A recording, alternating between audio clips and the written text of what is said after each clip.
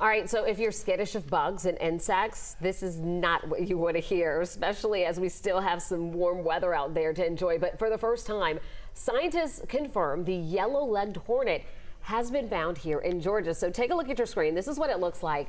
The hornet is native to Southeast Asia.